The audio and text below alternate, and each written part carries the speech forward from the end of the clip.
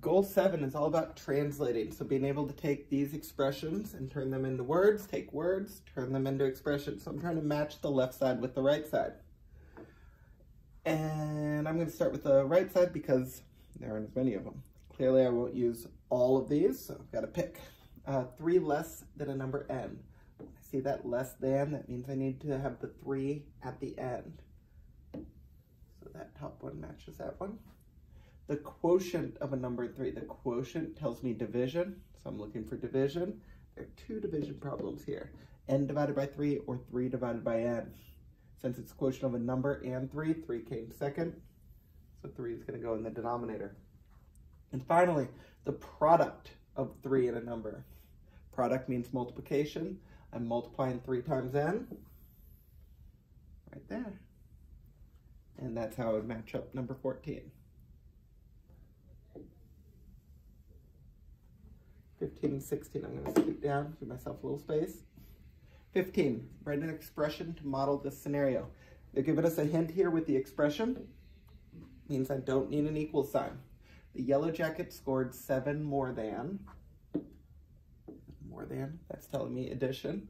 Twice the number, ooh, twice the number, that's telling me that I need to multiply by two as the other team. So the number of points that the other team scored that's going to be my x.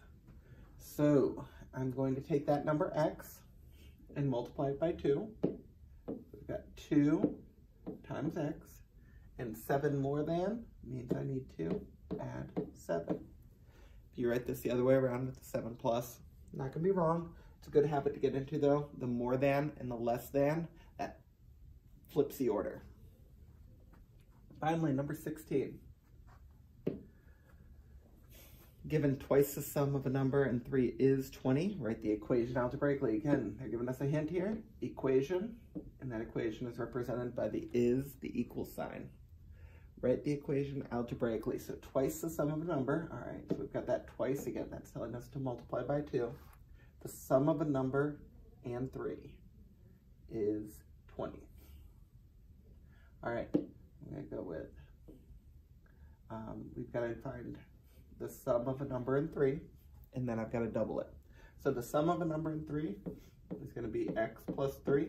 If you use n instead, you're just fine. You can use any variable you would like.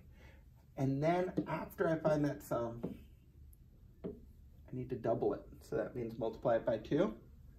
Then the is is the equals 20. And now I've got to solve this equation. I'm going to start by simplifying it, which I will distribute. 2 times x, 2x, 2 times 3, 6, equals 20. Uh, now I've got a two-step, boom. I'm going to subtract the 6 on both sides, leaving me with 2x equals 14. And when I divide by 2, I end up with x is equal to 7.